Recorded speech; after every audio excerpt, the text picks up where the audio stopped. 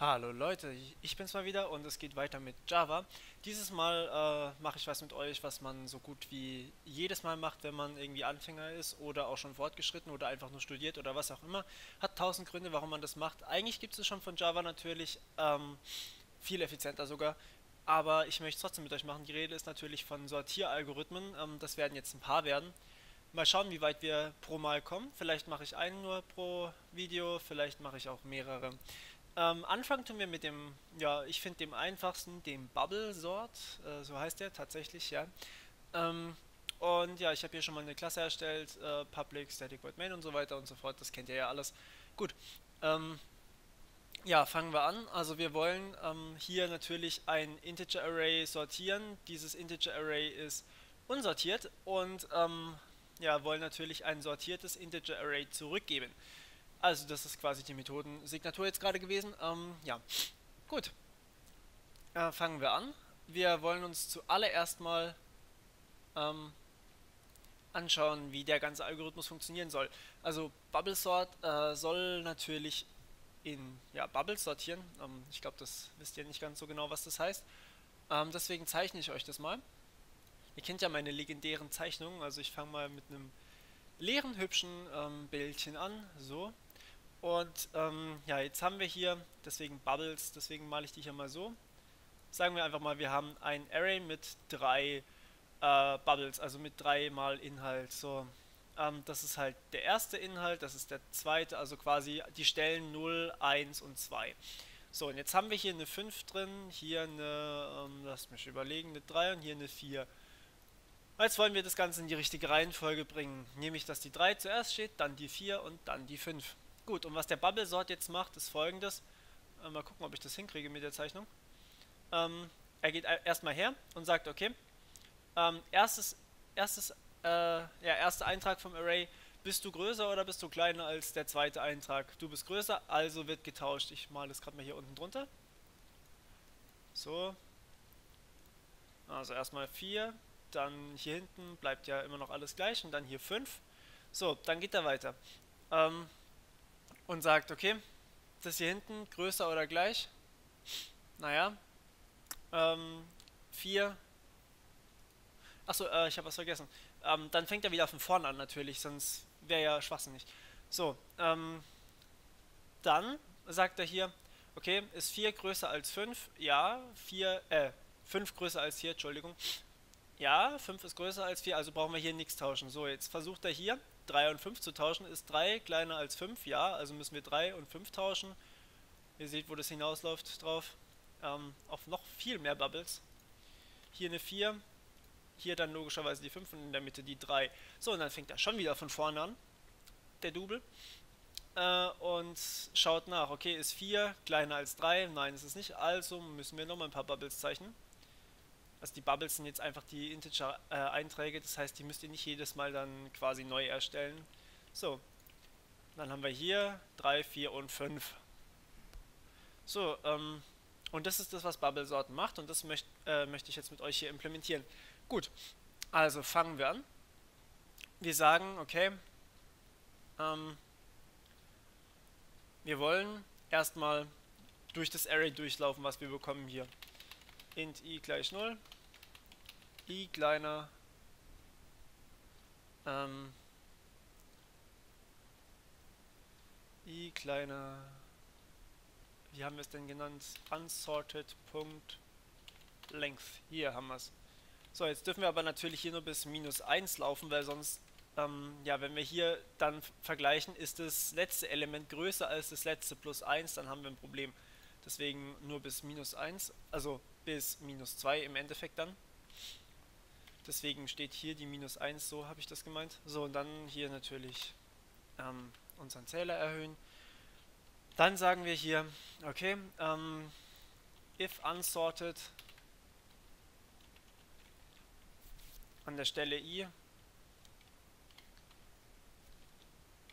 kleiner, unsorted an der Stelle ähm, i plus 1 Oh, was habe ich jetzt gemacht? Und wie habe ich das gemacht? So, ähm, dann wollen wir ja nicht, äh, wollen wir ja nicht tauschen, dann haben wir hier schon alles, was wir wollen. Okay, gut. Also sagen wir hier Continue. Wir überspringen quasi die Vorschleife hier. So, und ansonsten sagen wir, ähm, wir sagen hier erstmal Integer k gleich unsorted an der Stelle ähm, an der Stelle i logischerweise und dann erweisen wir dem der iten-Stelle den Wert an der ups, an der i plus ersten Stelle zu, was ja geht, weil wir hier immer noch in dem gültigen Bereich sind mit i plus 1. Und dann weisen wir der i plus ersten Stelle wieder den Wert von der Kartenstelle zu. K, K, hier.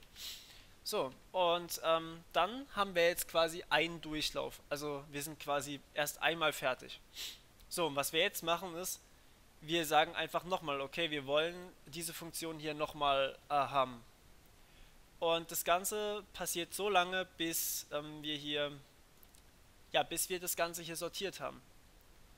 Also, da wir ja hier schon rausgesprungen sind, also ähm, wenn wir hier quasi fertig sind, also wenn wir hier alles, wenn wir hier diese Sache hier gerade, also das IT-Element, wenn es kleiner ist als das i plus erste, also wenn es da quasi sortiert ist, ähm, dann wollen wir das nicht mehr machen, aber ansonsten müssen wir hier Bubble Sort nochmal aufrufen. Und zwar kann man das rekursiv machen, man kann es mit einer Schleife machen. Ich mache es jetzt mal rekursiv.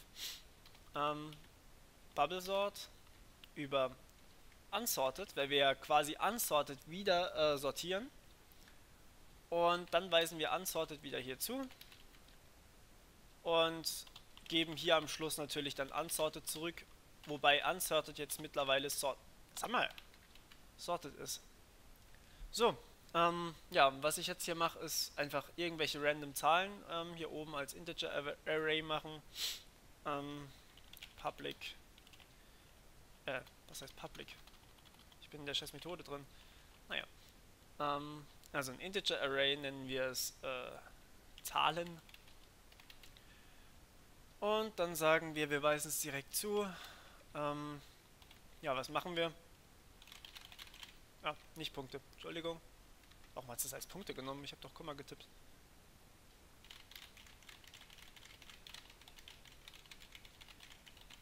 So.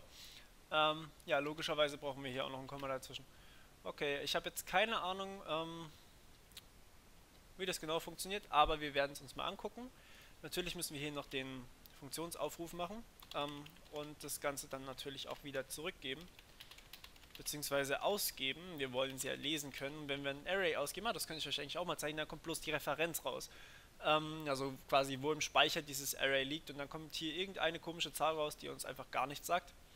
Deswegen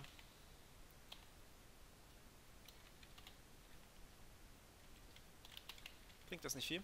Ähm, ja, was wir jetzt hier oben noch natürlich noch machen müssen, ist gleich, äh, ist sagen Zahlen ist gleich Bubble Sort über Zahlen. So. Und dann geben wir hier quasi einfach Zahlen aus. Ha, wir geben Zahlen aus. Achso, sysout vielleicht.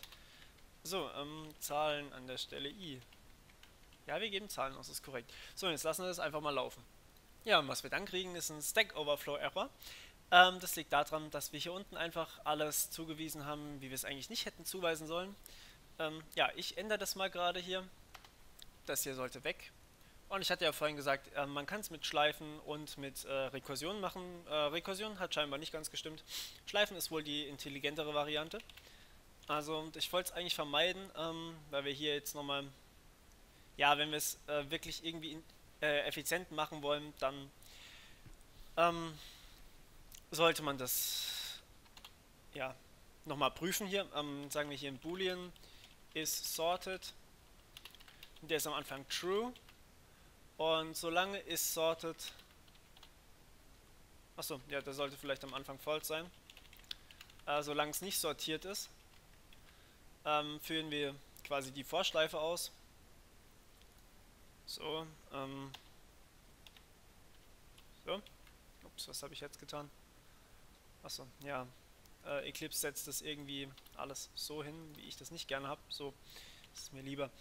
So, ähm, und jetzt sagen wir, jetzt müssen wir natürlich diesen is-sorted hier noch irgendwo verändern. Hier sagen wir als allererstes mal, nicht da, ein, zwei oben drüber, is-sorted ist erstmal true. Weil wir ja hier erstmal davon ausgehen, okay, es ist alles sortiert. Und wenn wir hier äh, rausgehen, dann ist es okay. Aber wenn wir auch nur ein einziges Mal durchkommen, dann kann es sein, dass es, sort, äh, dass es nicht mehr sortiert ist. Deswegen sagen wir hier, ist sorted ist einfach mal false. So, ähm, ja, so, und dann möchte ich euch jetzt aber gerade noch was zeigen, und zwar, wenn wir das jetzt hier umgeschrieben haben, muss man da furchtbar vorsichtig sein, und ähm, wie wir hier oben sehen können, habe ich dreimal denselben Wert, das heißt, ich komme hier dreimal nicht durch, und das ist eine riesen Schwäche vom Bubble Sort, wirklich. Ähm, wenn man den hier mit kleiner implementiert und nicht mit kleiner gleich, dann haben wir echt ein Problem, also ich zeige es euch gerade mal, wenn wir hier echt kleiner machen, dann läuft unsere, ja, unser Programm läuft quasi permanent, also man sieht es hier, man kann terminieren, das heißt, es läuft immer noch, und es läuft und es läuft und es läuft wirklich in der Endlosschleife, weil wir hier dreimal hintereinander 456 haben. Die mögen vielleicht sortiert sein, aber wir kommen nicht weiter, weil wir hier immer noch versuchen, die zu sortieren. So, jetzt sagen wir hier mal kleiner gleich und schon funktioniert Also wir haben hier 1, 1, 12, 15, 21, 45, 51 und so weiter. Und unser Array ist schön sortiert. Gut, ähm, ja, ich glaube, ich mache tatsächlich pro Video einen Sortieralgorithmus, also ähm, werdet ihr beim nächsten Mal noch einen vorgesetzt kriegen und danach wahrscheinlich noch einen. Gut, bis dorthin wünsche ich euch alles Gute und man hört sich. Tschüss.